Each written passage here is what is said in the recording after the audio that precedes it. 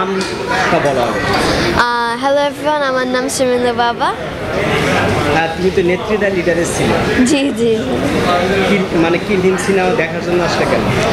মানে এমন না যে আমি আমি আমার মুভি করে আমার মুভি শুধু দেখব। আমি সবার মুভি দেখব। যেমন অনেকগুলো নেমেছে কিলহিম নেমেছে। এখন আমি কিলহিম আমার পরিবার নিয়ে দেখতে এসেছি। তারপর হচ্ছে লিডার আমি বাংলাদেশ, জিন মানে অনেকগুলো সুন্দর সুন্দর মুভি নেমেছে।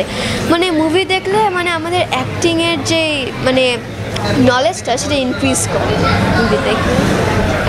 কিল হিম তো তোমার পরিচিত অনন্ত জলির জি। কাছের লোক? তুমি কিল হিমের ট্রেলার দেখেছিলে?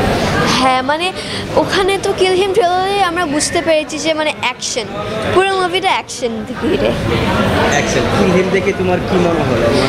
মানে তোমার বর্ষা অনন্ত ভাইয়া মানে কেমন দেখিনি আমি দেখব। মানে ইনশাল্লাহ মানে ভালোই লাগবে আমার যা মনে হয়। একটা গান দেখেছি যে আসসালামু আলাইকুম এই যে রোজার। খুবই খুবই সুন্দর হয়েছে। মানে মানে যে এনজয়মেন্টটা আছে মানে ঈদের খুবই ভালো লেগেছে।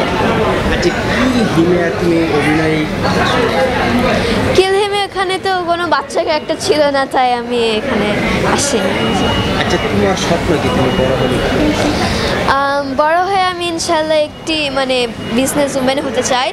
যেহেতু আমার দাদা একজন বড় অ্যাক্টর ছিলেন অভিনেতা আব্দুল কাদের মানে তার সাথে আমাকে অ্যাক্টিং ক্যারিয়ারটাও ধরে রাখতে হবে।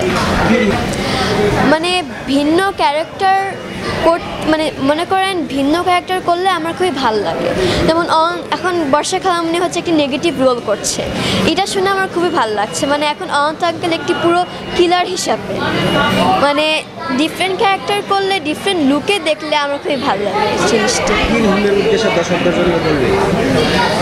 মানে আমরা সবাই জানি যে অনন্ত আঙ্কেল মানে হচ্ছে নতুন কিছু আর এবং অ্যাকশন আজকাল অ্যাকশন জিনিসটা বেশি চলছে।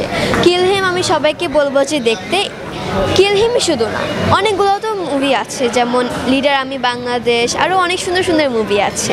তো এই তোমার সবাই পরিবারের সাথে মুভিগুলি এনজয় করতে পারবে আর yes thank you so much